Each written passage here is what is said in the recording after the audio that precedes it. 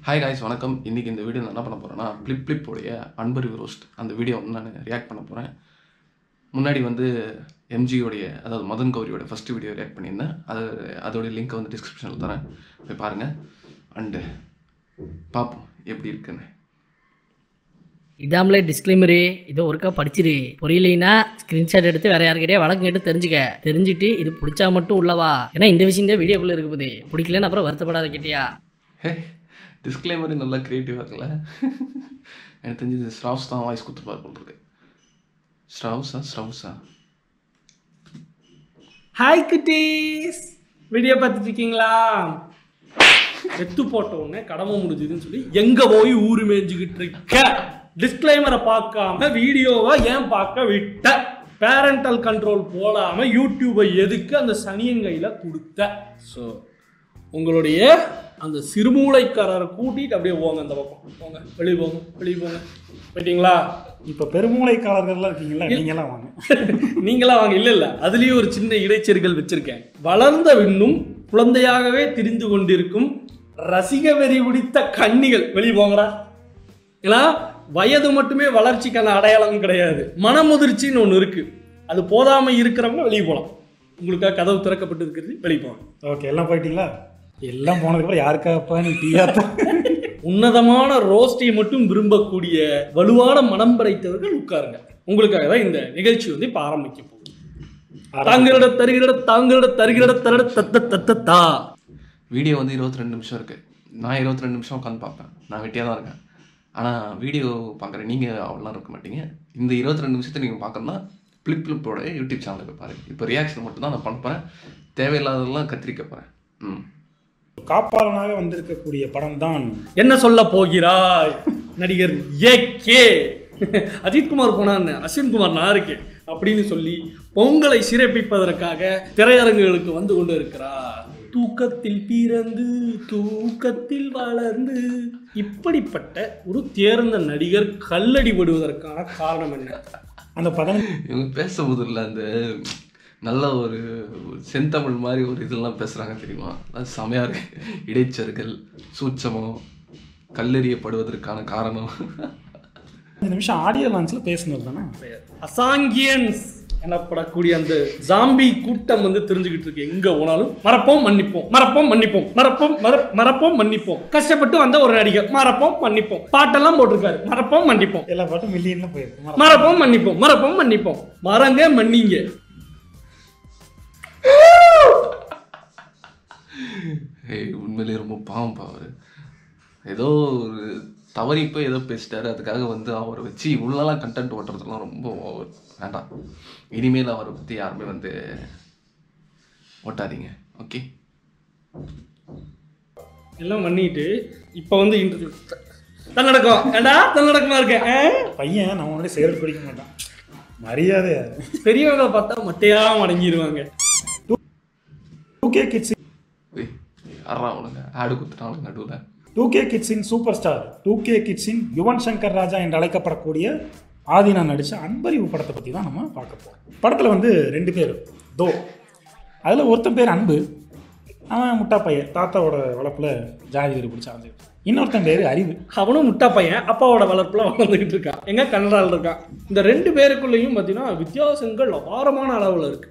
ஒருத்தன் கர்லிங் ஹேர்லாம் வச்சுக்கிட்டு கிராமத்து லுக்கிலையும் இன்னொருத்தன் ஸ்ட்ரெயிட் ஹேர் வச்சுக்கொண்டு சீத்ரூ பேங்க்ஸ் எல்லாம் வச்சுக்கொண்டு இந்த வெளி நல்லா இருக்கு சீத்ரு பேன்ஸ் தோற்றத்தை வச்சு மட்டும் அந்த டபுள் ஆக்டிங்கை சமாளிக்காம தன்னுடைய தேர்ந்த நடிப்பால் அதை வந்து வெளிக்கொண்டு வந்திருக்கிறார் நம்மளுடைய ஆதீனம் நீங்கள் ஸ்க்ரீனில் பார்க்குறப்ப இவர் தான் அவரான்னு நீங்கள் கன்ஃபியூஸ் ஆக வேண்டிய அவசியமே கிடையாது. அப்படிங்கிறது தான் படத்தை ஆக்சுவலி ட்ரெய்லர் பார்க்கும்போது எனக்கே தோணுச்சு. என்ன?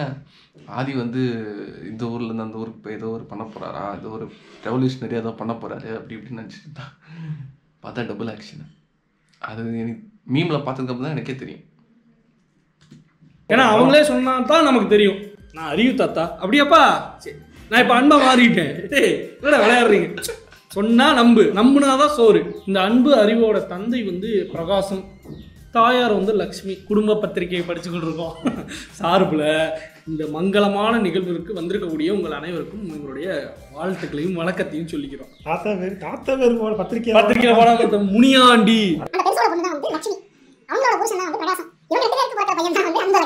இப்படி கதை சொல்லக்கூடிய ஒரு கேரக்டரா வர்றவர் தான் நம்மளுடைய பசுபதி. ஆனா நீ உனக்கு கவனிச்சினா தெரியும். இந்த படத்துல வேற எங்கேயுமே சாதி வந்து குறிப்பிடப்படல. ஆனா நம்மளுடைய இந்த பசுபதி கேரக்டருக்கு மட்டும் சாதி வந்து குறிப்பிடப்பட்டிருக்கு. எப்படி? ஆ நம்ம பார்க்க போகிறது வந்து முதல்ல அன்போட கதை தான் ஒரு ஜல்லிக்கட்டு நடக்குது. அவரோட காலை உள்ளே விட்டுருக்காங்க. அதை யாரோ ஊசியை வச்சு குத்திருப்பாங்க வந்து பார்த்துட்டு இவருக்கு வந்ததே கோவம். அடி பின்னிக்கிட்டு இருப்பாரு. இந்த சண்டையெல்லாம் நடக்கும்போது எனக்கு ரொம்ப பிடிச்ச விஷயம் வந்து ஆதினாவுடைய சிரிப்பு. இந்த டர்க்கிஷ் செஃப் ஒருத்தன் இருப்பான். அது மாதிரி டர்கிஷ் செஃப். ஆமா. ஆமாம் டர்கிஷ் செஃப் ஒருத்தர் இருக்கு.